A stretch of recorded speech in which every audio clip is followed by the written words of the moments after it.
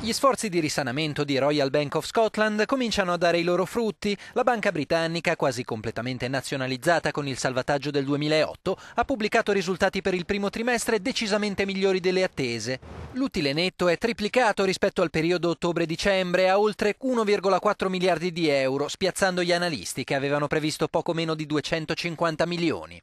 A pagare è stata soprattutto la decisione di mettere in quarantena i prestiti deteriorati in una bad bank creata appositamente per salvaguardare le attività sane e rilanciare il credito a famiglie e imprese.